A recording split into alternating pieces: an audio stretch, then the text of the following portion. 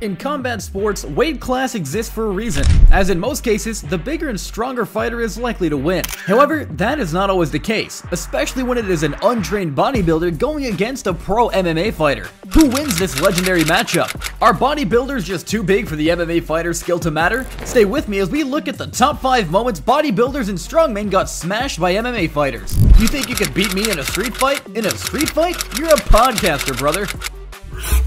Number 5. Kirill Tereshin versus Oleg Mongol. 23-year-old Kirill Tereshin first hit the headlines in 2017 when images surfaced of his monstrously swollen arms. Tereshin had injected synthol, a highly dangerous substance that is used by bodybuilders to give a temporary enlarged effect to make the muscles appear bigger for competition. The result is that he looks like Popeye. He became known as Bazooka Arms in Russia. But with those arms also came some health issues, and while Tereshin is famous all over the world, he is not wealthy. He needed money for surgery, so he took an MMA fight against Oleg Mongol, a Siberian MMA fighter. At 43, Mongol is 20 years older than his swollen opponent. This fight took place in Abakan, Russia. Mongol, being a terrifying looking man himself, just couldn't stop staring at his opponent's huge arms. They both came out guns blazing. Tereshin came out swinging like a wild man and there was genuine danger of him knocking his opponent out. He threw low kicks and utilized a high guard while looking for counters. He swung the weight of his gigantic arms into big overhands but missed. Tereshin managed to rock his opponent with a variety of unorthodox shots and both fighters looked for knockout shots. Well, an overhand right from Bazooka Arms finally landed and it sent Mongol flying across the cage. Still, he was in the fight. Mongol got up from the knockdown and went chasing a takedown.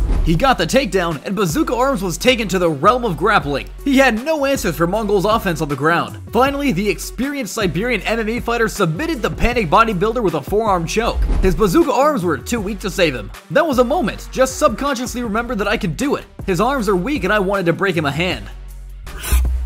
Number 4, Mariusz Pudzianowski versus Tim Sylvia.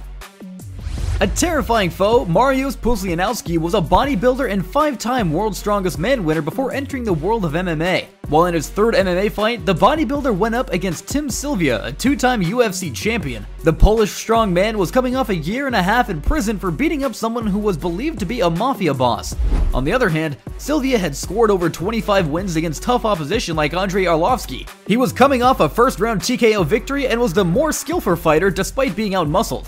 On May 11th of 2010, the fighters met and competed in the main event of Moosin, God of Martial Arts. As soon as the bell rang, the UFC legend went on the front foot and chased his opponent.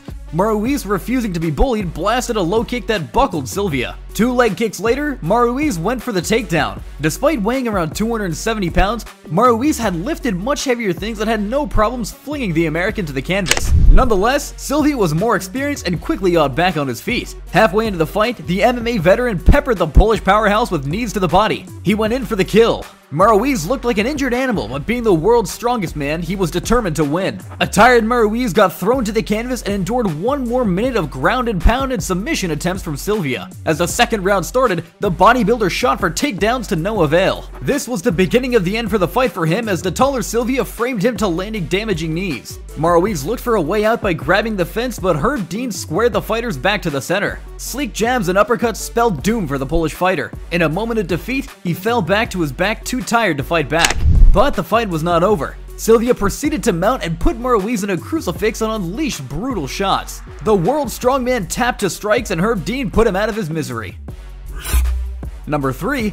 Alan Karaev versus Gary Goodridge. The fight between Gary Big Daddy Goodridge and Alan Karaev was set in Japan. Karaev, a massive Russian sumo wrestler and strongman, was making his MMA debut against Goodridge, who was one of MMA's pioneers. Big Daddy weighed about 240 pounds, but was dwarfed by his 6'7", 400 pound opponent who was making his MMA debut.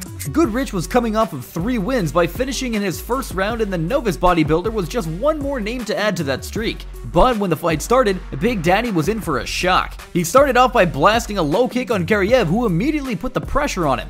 But with the two behemoths in the small ring, there was nowhere for Goodridge to run. Karaev got a hold and took him to the ground. The bodybuilder started unleashing and letting his hammers go as soon as they hit the canvas. He used his 400 pound weight to hold Karaev down before sneakily grabbing Karaev's arms and attempting a Kimura submission. The veteran could see it coming, but the soon to be tired bodybuilder kept squeezing Goodridge's head and another attempt at a submission spelled doom for the strongman from Russia.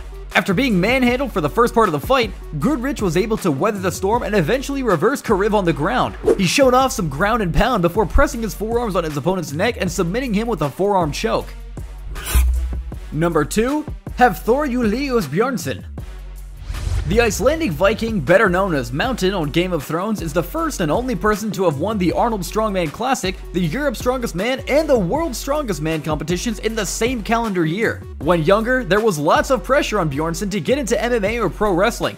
Well, Bjornsson would finally get into an MMA gym and have a sparring contest with Conor McGregor. Unfortunately for everyone involved, Bjornsson and Conor's sparring didn't amount to much. In the first 10 seconds, Bjornsson fearlessly walked down Conor, but the fast counter-strike sneakily replied with two punches to the stomach of Strongman. The Mountain then lunged in to grapple McGregor, but the Notorious had too much experience to get mishandled. He escaped the clinch and then went back to smashing Bjornsson's body with straights. Well, the Mountain eventually grabbed a hold of the MMA fighter and landed his own left punch to the body. At that point, the muscly 400 pounder was getting tired, but the evergreen Conor was still bouncing around the mat. He got into his flow and flustered the Mountain's mid regions with sharp combos. The Mountain came crumbling, he went on his knees, raising his arms in submission. But Conor wasn't done yet. Taking his back, Conor landed a flush knee that put a final nail in the coffin. Well, weeks later, Bjornsson denies losing as he claimed he tried not to hurt McGregor. He was even asking for an actual fight in the octagon and promised to win in 10 seconds. I mean, bring me shorts and put us in a cage. I'd fight again. Nevertheless, Conor won this round. Number 1. Robert Burneika Robert Burneika versus Markin Yajim looked like a fight between two one-star beginners. Robert Kokshu Burneika was a Lithuanian bodybuilder making his KSW debut. He had won many bodybuilding championships and needed to prove that he could do it in the world of MMA. He won his first two fights and on May 27th of 2017, he fought at KSW 39 with rapper Powell Popek Monster Mikulawa, who was also having his first fight under the promotion. The bodybuilder opened up with a kick to the body, but his opponent had a much more direct approach. Popek landed a massive overhead right that dropped Burneika. He followed up with a takedown and vicious ground and pound. The roided up bodybuilder got back on his feet, but was sent crashing just a second later and the fight was over after some more ground strikes. After one more brutal showing, Burneika would never fight again. If you like this video, subscribe to our channel, and don't forget to like and comment.